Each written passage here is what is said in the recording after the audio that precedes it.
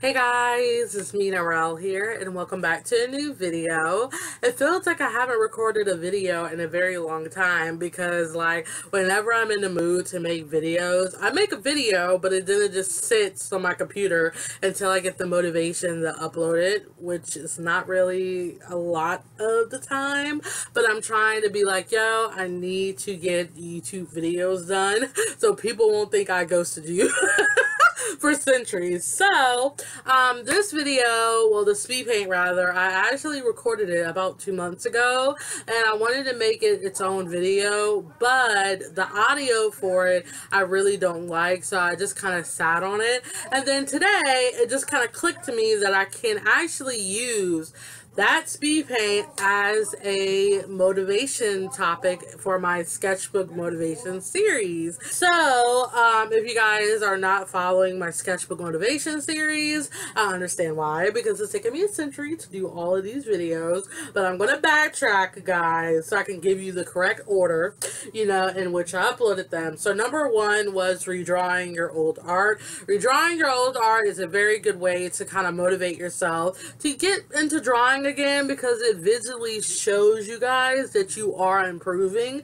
You kind of don't need people to tell you, oh, you improved, you improved, you improved, when you yourself are like, I don't see what you see, but when you redraw your artwork, you're like, wow, I really did improve, you know? So that's a really good little tip there. The second part is actually fan art, doing fan art. Fan art is actually a good way to kind of get motivated in your sketchbook because who doesn't like to draw their favorite husbando and waifus all over their sketchbooks? I am like, yes to that idea because I swear I've been drawing a lot of busty ladies and I'm like not sorry about it. And the latest part, which I uploaded two months ago, is actually using pictures as inspiration. And pretty much I took a scene from the drama Semantic Error, which I finished watching around that time, and I just had to draw that because I'm still in love with Semantic Error. My series is going to be like five points um, because I really don't want to like make this too long where people are like, Nyrelle, we get it. So, for tip number four, originally it was draw draw your characters in different poses and outfits that'll help you get motivated, but I feel like that wouldn't motivate me enough, and I really want to make this personal to me. I'm kind of like in the art funk right now, where one day I want to draw, the next day I don't want to draw, and you know, it sucks, but I am like a stickler to sketchbooks. So I would pick up a sketchbook and stick with this one sketchbook until the end of my life, and that's just how I kind of roll with sketchbooks because I feel like if you use more than one sketchbooks, it kind of kind of confuses your mind a little bit.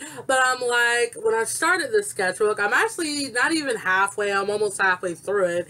Um, so when I was using the sketchbook, I kind of got tired of it. Not in a sense where I'm like, I hate the sketchbook. It's kind of like my motivation to keep going in it kind of stopped, and then I switched over to a sketchbook I got from my dollar store, and this is almost done, guys. I've been in it for almost three months, maybe four, and it's kind of getting close to there. So I feel like having two different sketchbooks actually is a mental breather. This sketchbook, um, I will say that the paper is just that type of paper that doesn't handle anything. Like it's very like weird. And I actually had this type of sketchbook before, and so I already knew I couldn't use a lot of things. But since I really love my Himi gouache, I actually did a drawing, which I will happily show you guys, of the beautiful IU. And I'm like, I really want to see how gouache lays on this paper because watercolor sucks. But gouache, you can use it straight out of the tube. But then again, gouache, you kind of have to use water to kind of get it to spread around. Around this time, Ganadara, which is IU's song that she's featured in with Jay Park, came out. And I literally had that song on repeat every day. I probably played it like five times a day. That song is still a bop, but I kind of slowed my roll playing it because I'm pretty sure my family and my friend were like, Nyrelle, please stop playing this song. And I'm like, I'm sorry. So I at least listen to it like one every other week. but it's still a box, so go check out Ganadara. But that's what inspired me to draw this picture in this sketchbook. And also, I really feel like drawing something new, quote unquote, in a medium that we use, which in my case is a sketchbook, um, and trying to see if something works is a great motivator to actually get in your sketchbook and just kind of explore because exploring is what we really need to be doing. I'm currently trying to like change that. I'm not trying to change my style. I'm trying to change, I'm trying to develop a new style and it's kind of coming together in a way. And I'm just kind of in that experimentation mode where I'm like, I don't care what to put in this. I just want to like art and just have fun. So please, guys, use this motivation series that I'm doing um, and just kind of use it to your advantage. Again, this is like for everyone. So if my tips that I say in my videos really are not tips that you follow, it's okay. To each their own. You don't have to be a stickler, but my videos is what I use um, to, you know, motivate myself to stay in my sketchbook. So yeah, let's just go ahead and get to the speed paint because I feel like I chatted enough. Alrighty guys, so now we're in the speed paint portion of this video. So like my other gouache paintings, I actually draw them with my Crayola erasable colored pencils. Like guys, what is new with me? And then I use my kneaded eraser to kind of lighten up the lead. So at least the lead won't be too much in the paint. Um, given that this paper kind of just is not forgiving with erasing, I can only lift up so much. But I kind of didn't hate that because because that red color that I use blended in really well with her skin that is like as wasn't too you know hard for me to kind of accept that the lines were there. So, um, as you can see, I'm blending out my base color for the skin. And as you can see, I just kind of went straight in there with the color because I feel like with my base coloring with gouache, I love to just kind of put the color as is where it needs to be. And then I'll go over it with white in the areas in which I need to get lighter. Um, most of the time, I do go over the areas in white with like three passes because gouache, it doesn't dry light. I think it's a couple of layers to kind of get to where you want to be. So, you know, I was very cautious when I was doing this because, again, this paper really doesn't handle a lot of water. So I'm like, you know what? Let me apply it in the areas in which I do need it to be lighter. But um, most likely, I probably stayed with where it was at. Yeah, I, I had the reference right in front of me. But yeah, so I did use a lot of white in like some of the areas which you're going to see. But um, yeet. but um, a lot of people may be like, Nyrelle, you do um, light to dark, light to dark. But I kind of realized that dark to light really does work a lot better because light to dark scares me. And I'm like, no, I don't want to have an anxiety attack coloring this picture. But I really do like the fact that her skin turned out really great. And I actually did add some pink in her skin to kind of make it cohesive with the lines because I honestly am trying to make my drawings not look too odd in a way where one color is just sitting on its own. I kind of really want to interpret the colors where every color can be in every other place. So no color is just kind of like the odd one out. Uh, I feel like that helps drawings kind of come together because you can tell when a color is just kind of used in one area you're like why didn't they put it in any other area you know? It's not us being mean but it's just kind of like that color is pretty lonely out there. But um yeah so I always try to strive for that because I'm now practicing I'm now you know, doing newer things, and it's actually just making me happy seeing what I could do with colors that I've never done before. So, um, I pretty much think, you know, it's always cute to kind of do something new and just see where, you know, you can go towards if you just kind of branch out from your comfort box and just kind of just try something new for change.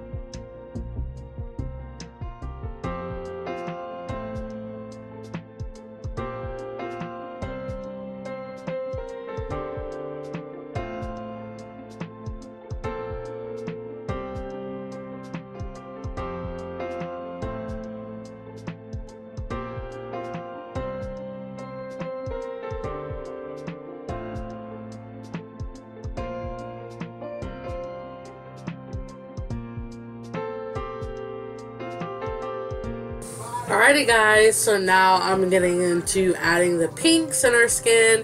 I actually wanted to come and talk about it because it literally turned out so cute. I actually did um, this kind of effect in a lot of my other paintings and it turned out so beautiful. So I'm like, please let this work with Miss IU Neem because I really wanted her to live her best pink life and it worked. Ah, though I do feel like I could have held back in some areas with the pink, but you know, there's not enough pink in a person's world, just like it's not enough glitter in a person's world either. So you know, I just wanted to come here and just kind of, you know, spit my truth and just fangirl a little bit about the pink. So you know, go me.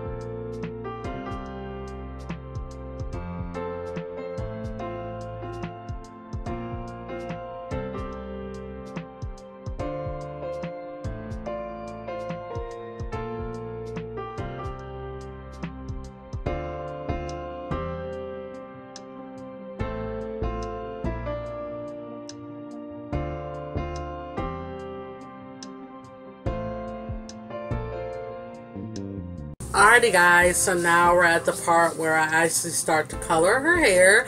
Um, I'm going to admit my truth. I did not fully color this drawing on this video uh, mainly because it was just taking too long with me coloring her hair. And second of all I felt like I got enough of my process with me coloring her hair that you guys kind of get how I go about coloring hair. And three my phone died. So you know I guess that my phone died is the best reason to why I didn't finish it. But I feel like I knew when to stop for this video. So I, again I will have the finished result at the end so you can see how IU turned out. Um, granted, it's not really something I'm proud of, but I am proud of, of the fact that I dared myself to try something new because I knew this paper just did not like water-based medias, but I'm like, forget you paper, I'm gonna get you to like this water-based media, and I'm actually patting myself on the back for trying it out and seeing that it's really not all that bad. So when I come back to the sketchbook, whenever I decide to come and pick it back up, I'll try to do more gouache paintings or try to do something else in which will get me to enjoy it a little bit more. But for right now, um, this sketchbook honestly is, is, out of my sight. I really don't know where it is half the time.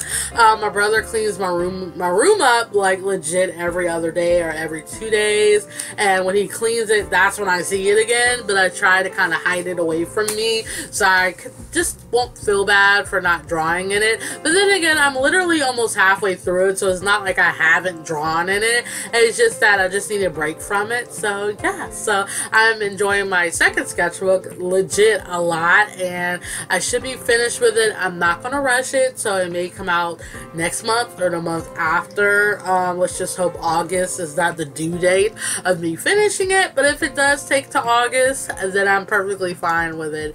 So I'm just here to speak that trying something new isn't scary. For me, um, I'm always a one I'm always a person that's literally a creature of habit. Like, if it's something that I do all the time, I'm good with you. But if it's something that I've never done and I don't feel like I'm comfortable enough doing it, I would be like, no, like, you're not getting me to do it. So I'm like, I'm trying to, like, make myself a creature of less habit and just try something new. And I'm enjoying that with the art life. In real life, you know, maybe you gotta convince me a little bit more but with art, I kind of learned to accept that there are other things in which I can enjoy other than a sketchbook and paper. I'm actually painting on like wood, um, canvases, craft boxes, and I'm like doing like a lot of stuff, and I'm like, bruh, enjoying it. um, I'm actually um, motivated to actually try to buy acrylic gouache because I do watch Iamawonder. She's amazing. Um, if you guys don't know who she is, then you're living on the rock because Iamawonder is legit bae. I love her and she fangirls all the time over acrylic gouache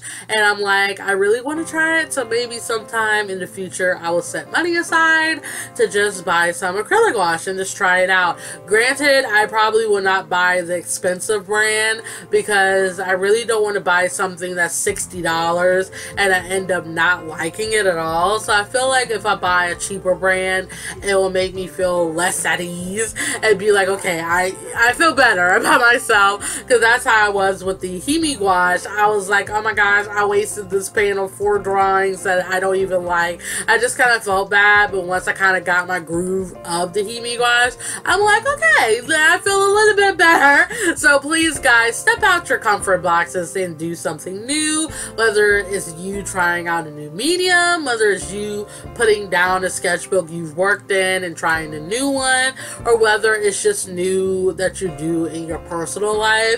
I try not to make my videos all about art sometimes because I feel like I just forget sometimes that people have a life rather than coming to YouTube and watching videos. Just try something new in your daily life. Like if you don't go outside as much, go outside and experience nature for what it is. Though I literally could use that point because I'm a hypocrite because I stay inside all the time. So yeah, now I would try to do that more often. So if you're a couch potato, you and me both will go outside and experience all the nature and all that good stuff. So just do something new. um, so that's really what I all have to say for this video. Um, I am going to plan to make a new art supply video of my art supplies in which I use most often because it changes, it legit changes I don't do those videos every year because I'm a creature of habit and I use pretty much the same things, but I try to do them every like two years because you could tell my taste changed legit over a long period of time. So if you guys are wanting that, let me know down in the comment box below um, and let me know what type of videos you'll like to see. If you like to see tutorials, let me know. I'm not the best at talking about my processes, but I can do the best I can because I forget not everyone who sub to me are like intermediate artists. Um, some people are beginners. So if you are beginning in art and you guys are like, Nyrelle, I really need, really need your help at this aspect, let me know. Um, don't be shy to ask for certain videos. So yeah, I think that's it because my video is actually wrapping up. So if you like this video, give it a like. I will see you at the end, so why am I closing off this video? But um, yeah, I generally will hope um, that you guys get something out of this for sure.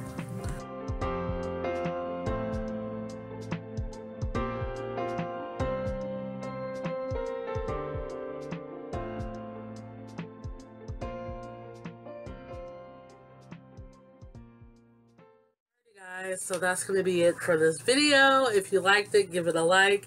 Um, comment whatever you like to say to me in my comment box below. Um, again I really haven't picked the sketchbook up at all since I drew drew that picture well I think I drew a couple of pictures after it yeah, I did. I drew a couple of pictures after it, but I, but after that, I just didn't pick up the sketchbook. I think the last time I used the sketchbook was like two to three months ago. So, um, my love for this has not returned. So when it does return, most definitely I will finish this up. But for right now, um, this is my main one that I got from my dollar store. So I cannot wait to show you guys this sketchbook. I'm like legit excited to show you guys this sketchbook because this sketchbook is where I experimented a lot. Um, but um, if you guys want to know where the stickers came from, so the stickers on this, so these two stickers of Todoroki and Bakugo came from my friend Harushine. She changed her name to Darwin Rose Studios, so that's where I got these from. Um, I think I bought them about two to three years ago, so I don't know if they're still available in her shop, but if they are, you'll find them. And this is my sticker of Maka, and which you can get in my Soul Eater sticker packs. Um, so in this sketchbook, um, this is another sticker from my friend Hadu or Darwin as she rebranded. And these two are my stickers. So that's uh, my cat boyos. And here is Ari, who's a Patreon reward for the month of October. So yeah, so those are all the stickers in case you guys wanted to know who the stickers were. Um, but yeah, so that is it for the self promo, for my friend's self self promo, and yeah, I gotta go. So yeah, so if you enjoyed this video, like I said, give it a like, and I will see you guys um, in my next video, whatever that may be. And yeah, so yeah, bye. And oh, I can drive now. I don't think I uploaded the vlog where I said I got my driver's license, which is a lot which is a vlog way ahead of your time. So if you're wondering what these are, it's my car keys. So yeah, I did get my license. Your girl is legal to drive. So yeah, so be happy for me in the comment box below. So yeah, bye.